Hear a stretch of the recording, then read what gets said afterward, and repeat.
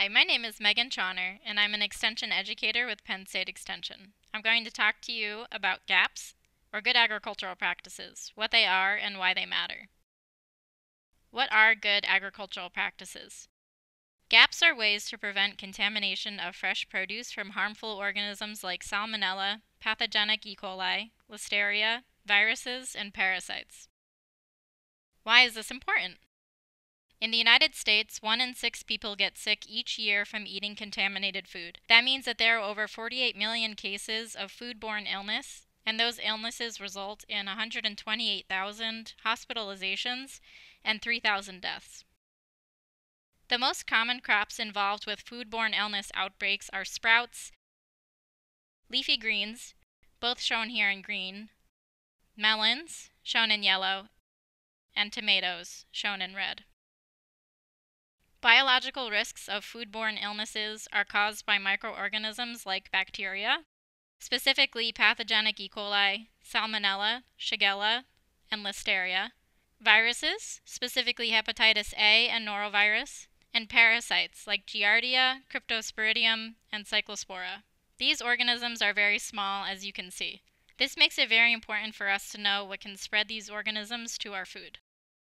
One source of contamination are humans. Humans can carry pathogens and spread them to produce, food contact surfaces, or other people while they work on the farm. Help minimize your risks by washing your hands thoroughly.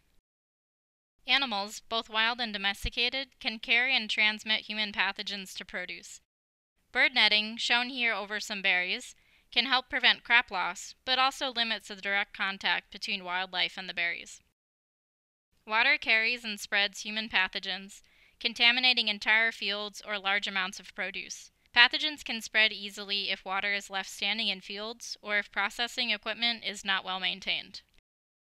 Soil amendments like raw manure can be a source of contamination if improperly handled and applied.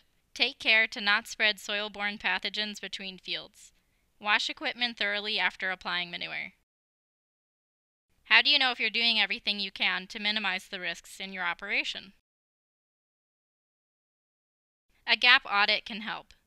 The USDA, as well as private inspectors, can help improve the risk management of your operation.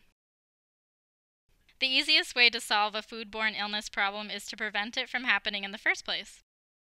Proper tool storage and maintenance goes a long way. Keep tools clean to prevent contamination. Keeping your bins elevated from the soil helps prevent soil-borne contamination during harvest. Furthermore, proper storage of bins when not in use ensures they stay clean. Prevention is the key. The focus of produce safety is on preventing contamination from occurring. Once present, microbial contamination is very difficult to remove.